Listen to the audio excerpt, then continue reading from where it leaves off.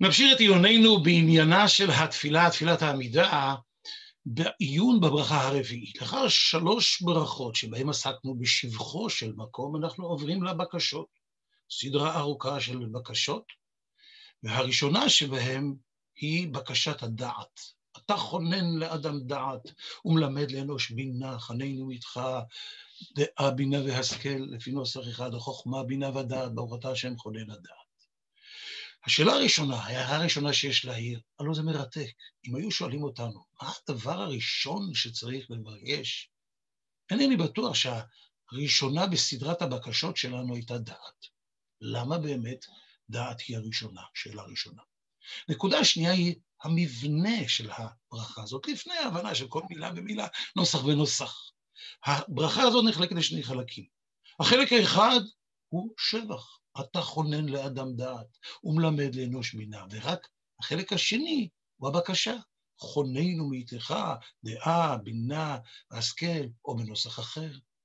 על כך, אם נתבונן בכל הברכות האחרות, נראה שלא כך הוא הדבר.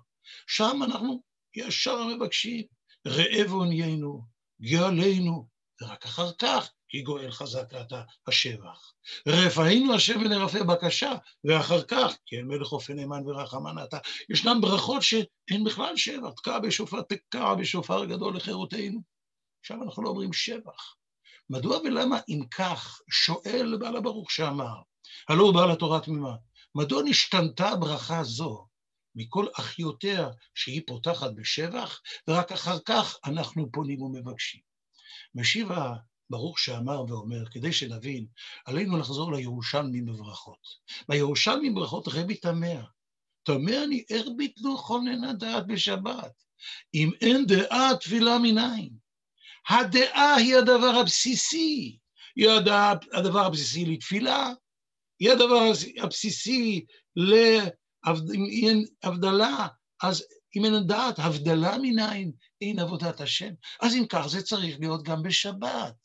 על סמך הדברים הללו, אומר בעל הברוך שאמר, שבעצם בהתחלה קבעו שברכת חונן הדעת תהיה גם בשבת.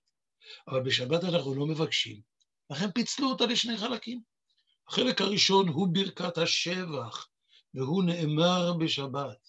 החלק השני, שהוא חלק הבקשה, הוא נאמר ביום חול בלבד.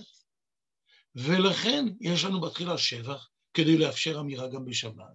ולאחר מכן יש לנו בקשה שהיא ביום חול בלבד, כך היה בתחילה. אבל בשלב מסוים ביטלו את אותה אמירה של כונן הדעת בשבת, ואז עברו רק ליום חול והצמידו את שתיהן לברכה אחת. וטעם הדבר למה זה כך? היה קשה להם להפריד בין הברכה הזאת לבין הברכה הזאת, התחילו לחבר, התחילו לחבר, אז אמרו את זה רק ביום חול ולא בשבת. זאת תשובתו של הבעל הברוך שאמר. אבל ייתכן שיש פה גם תשובה מהותית. הדעה, הבינה היא התשתית. מדוע? כאשר הקדוש ברוך הוא אומר, ויאמר אלוקים נעשה אדם בצלמנו כדמותנו. אומר רש"י, מה זה בצלמנו כדמותנו? במה אנחנו בדמותו של הקדוש ברוך הוא? להבין ולהשכיל. הבינה היא הצלם אלוקים שבנו. כך אומר הרמב"ם בנבוכים, שהשגה השכלית זו צמד האדם, ששום חוש לא מפעיל אותו, ובזה דימה אותה להשגת הקל.